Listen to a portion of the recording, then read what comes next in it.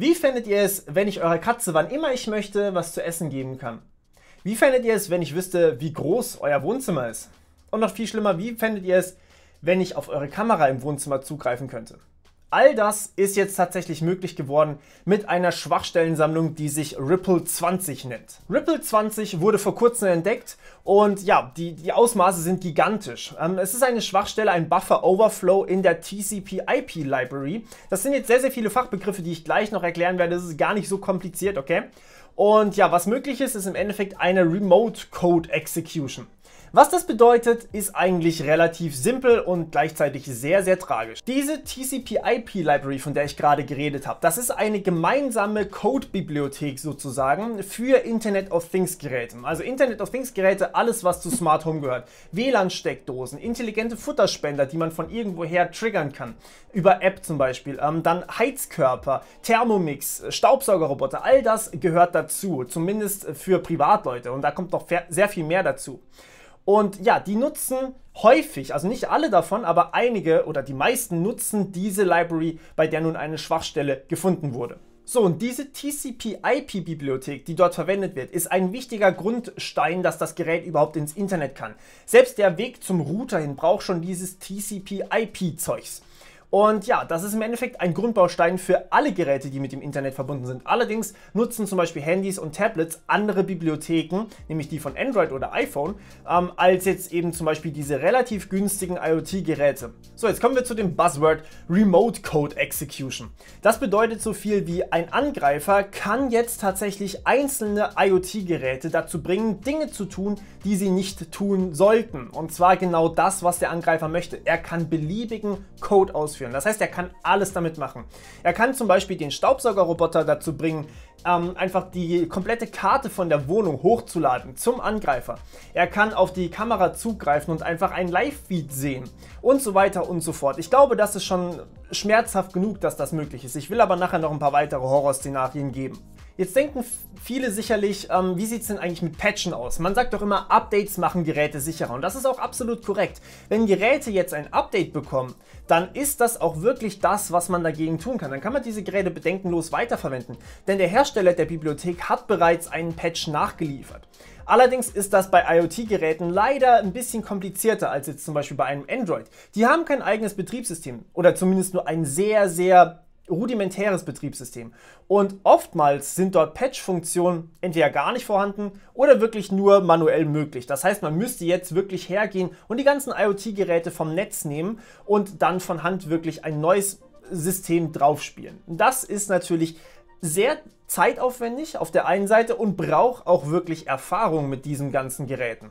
Doch Ripple 20 ist eigentlich nur eine dieser vielen Schwachstellen für IoT-Geräte. Erst vor kurzem ist eine Schwachstelle für Philips Glühbirnen aufgetaucht, äh, die auch nicht so schöne Dinge zugelassen hat, wie zum Beispiel man konnte einfach auf die Glühbirne zugreifen oder die Glühbirne konnte plötzlich Dinge, die sie eigentlich nicht tun sollte. All diese Probleme sind eigentlich auf IoT zurückzuführen. IoT-Geräte sind viel zu günstig, als dass die Firmen wirklich Geld dafür haben um vernünftig IT-Sicherheit zu machen. Im Endeffekt sind IoT-Geräte wirklich kleine Computer.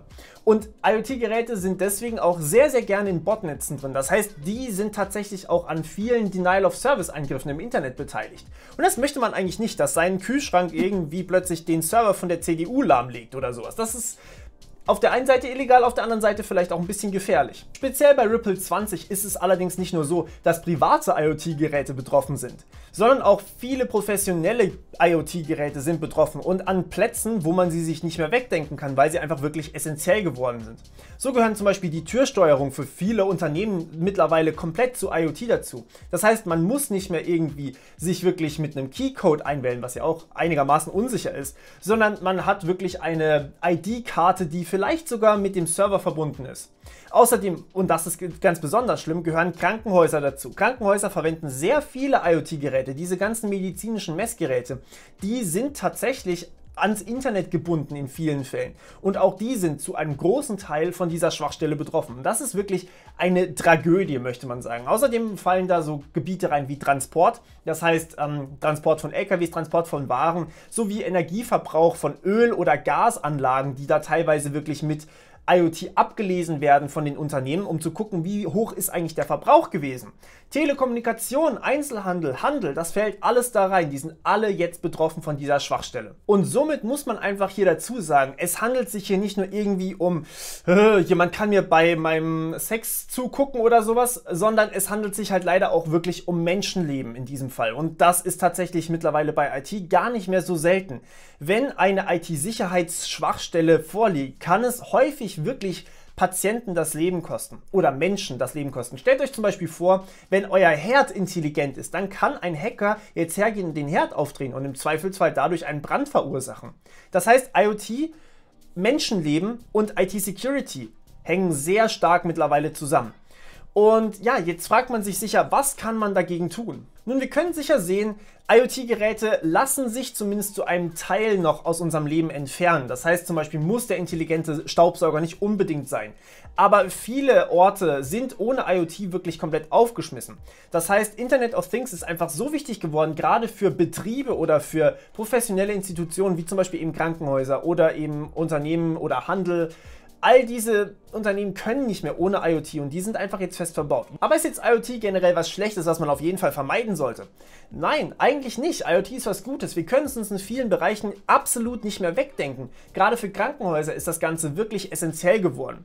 Und dementsprechend müssen wir lernen, damit verantwortungsvoll umzugehen. Allgemeines Wissen über IT-Security ist wichtig heutzutage. Deswegen auch dieser Kanal hier, den ihr übrigens gerne abonnieren könnt. Was wir tun müssen, ist auf jeden Fall solche Dinge wie Standardpasswörter rausnehmen. Es gibt sehr, sehr viele IP-Kameras, die einfach für jeden auf der ganzen Welt verfügbar im Internet rumschwirren. Und es gibt sogar eine Suchmaschine, die IP-Kameras oder generell angreifbare IoT-Geräte im Netz aufspürt und dann eben zugänglich macht. Es ist einfach gang und gäbe, dass diese Dinge ausgenutzt werden. Deswegen solche Sachen wie Standardpasswörtern sollte man auf jeden Fall immer ändern.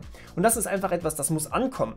Ähm, außerdem müssen wir natürlich verantwortungsvoll umgehen. Wenn wir jetzt zum Beispiel uns überlegen, wollen wir ein Babyphone haben, ja, wenn wir jetzt zum Beispiel Eltern werden, ähm, dann müssen wir uns vielleicht überlegen, brauchen wir wirklich ein Babyphone, was über App steuerbar ist? Oder reicht vielleicht ein Babyphone, was über ein anderes Telefon in, im Haus steuerbar ist?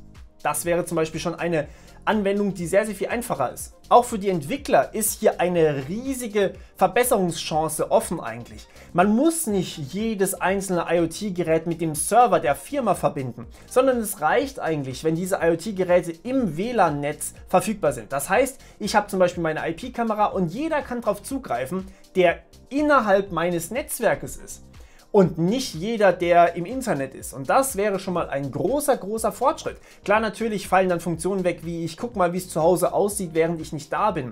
Oder ich äh, steuere meine Heizung vielleicht, während ich im Urlaub bin oder gerade nach Hause fahre. Das fällt dann natürlich weg. Aber auch solche Anwendungen kann man sinnvoll absichern.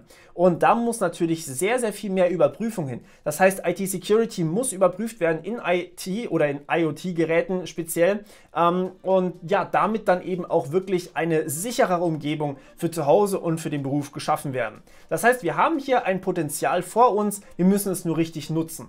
Und wenn wir dieses Potenzial jetzt richtig nutzen, dann haben wir vielleicht die Chance, die potenzielle Pest des 21. Jahrhunderts zum größten Fortschrittsfaktor für das 21. Jahrhundert zu verwandeln. Aber dazu müssen wir halt lernen, mit der Technik sinnvoll umzugehen. Und das reicht leider nicht, wenn das die Unternehmen tun, sondern auch der Kunde muss mittlerweile da ein wenig geschult werden. Alles klar, in dem Sinne, vielen Dank fürs Zugucken und wir hören uns bis zum nächsten Mal. Ciao.